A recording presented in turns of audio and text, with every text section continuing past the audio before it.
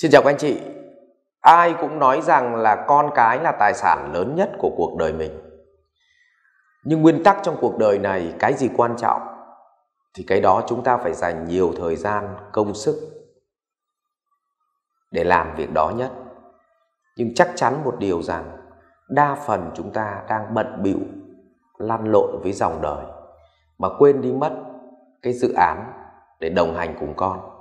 Chính vì vậy mà Hôm nay tôi muốn chia sẻ với quý vị cái chương trình là đồng hành và xây dựng cuộc đời cùng con. Vì tôi cho rằng đa phần chúng ta sinh ra và lớn lên sự hiểu biết về các dự án, sự hiểu biết về vận hành một doanh nghiệp, sự hiểu biết về nghề nghiệp của mình thì chắc chắn các vị dành rất nhiều thời gian để đầu tư học hỏi và nâng cấp. Nhưng sự hiểu biết về con trẻ và làm thế nào để đồng hành với con trẻ thì rất nhiều người còn bỏ quên trong cuộc đời này.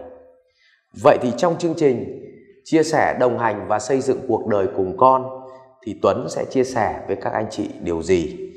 À, thì chia làm 3 phần. Phần 1 là cùng con xây dựng ước mơ. Như vậy chúng ta định vị cho con ước mơ đầu tiên. Phần thứ hai, chúng ta xây dựng nền tảng cho con khi chúng còn học ngay từ lúc trung học phổ thông và trung học cơ sở là gì? Và cuối cùng là chúng ta phải hành động ra sao để đồng hành cùng con được? Và trong chương 1 thì được chia làm 6 bài. Bài thứ nhất là cấu trúc bản thể của con người. Vì khi chúng ta sống chung trong cộng đồng, ta phải hiểu người. Và mỗi một người thì lại có một bản thể riêng, nhưng tất cả bản thể đấy nó lại nằm trong một quy luật. Cho nên chúng ta phải hiểu về con người. Câu chuyện thứ hai là chúng ta phải hình thành nên gì ạ? Cái yếu tố niềm tin cho mỗi người. Bởi vì sự bộc lộ ra ngoài của mỗi người khác nhau chính là niềm tin của bên trong. Bởi vì chúng ta hình dung là tất cả thế giới này chúng ta sống chung ở đây, tất cả con người chúng ta đều sống chung ở đây. Nhưng kết quả của cuộc sống mỗi người là khác nhau, bởi mỗi người có một niềm tin khác nhau.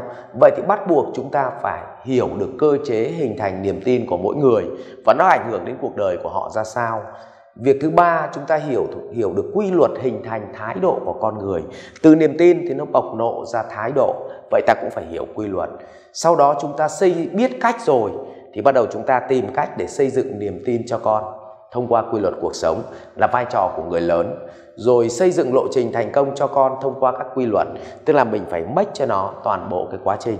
Nó phải làm gì để nó thành công? Và tất nhiên, cùng con để đồng hành, chứ không phải áp đặt con để bắt con phải làm, rồi xây dựng lộ, bản đồ phát triển sự nghiệp cho con, tức là hai bên cùng thảo luận và xây cho con một bản đồ.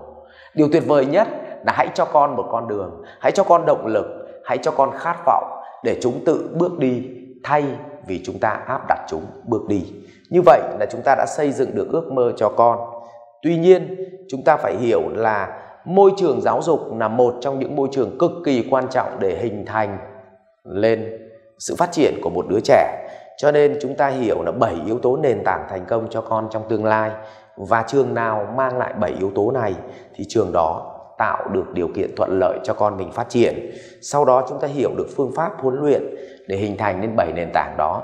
Vậy thì trường nào là trường mà mang lại nhiều giá trị nền tảng thì trường đó là trường tốt. Sau đó, chúng ta phải biết cái cách hành động để cùng con thì có bí quyết làm bạn cùng con.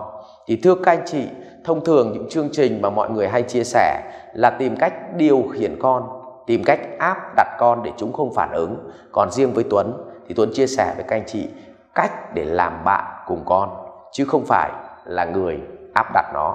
Rồi sau đó chúng ta học 6 cái yếu tố nền tảng cha mẹ cần làm để đồng hành cùng con.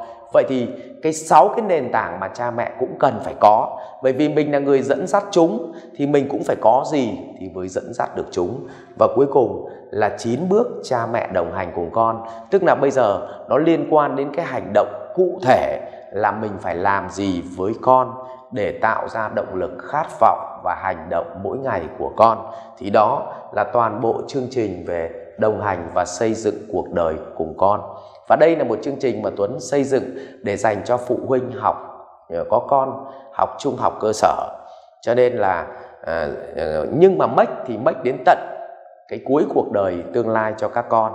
Vì vậy hy vọng rằng chương trình này sẽ mang lại giá trị cho các anh chị và chúng ta mà vào bắt đầu vào bài học chính. Xin mời các anh chị.